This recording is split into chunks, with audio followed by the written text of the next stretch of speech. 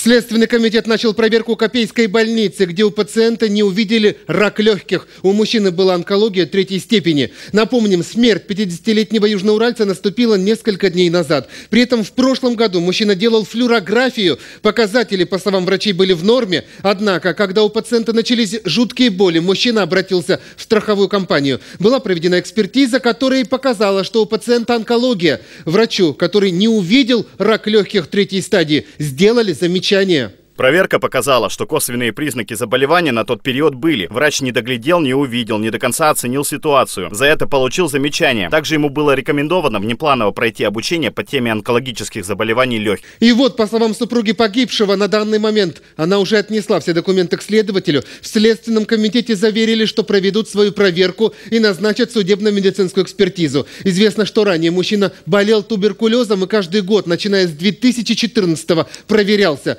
Теперь жена погибшего готовит иск в суд.